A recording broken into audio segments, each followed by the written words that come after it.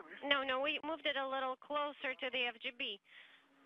So, Давай буду держать. hang on, let me hold it. Хорошее положение, попробуйте Надо еще, скомпрометировать. еще. Еще. Oleg and Anton, you have a good position uh, for the mobile link right now. So, can you try and secure it in place? Давай попробуем еще. Okay, let's try one more time. Никак. No? Not happening? Давай. Kononiko's camera. Играй там. You can also Yeah, see you can let go. And can it turn a little bit more along the x-axis? Well, I thought I rolled it, but I can do it more. Yeah, while it's in this position, uh, you can uh, roll the mobile link a little bit more and set it to the right roll setting.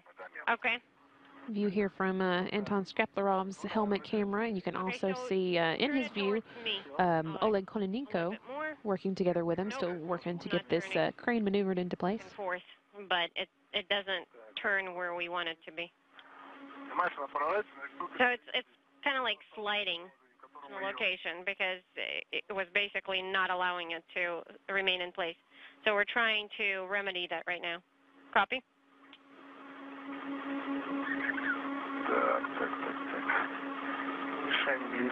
All right, a little close to the target.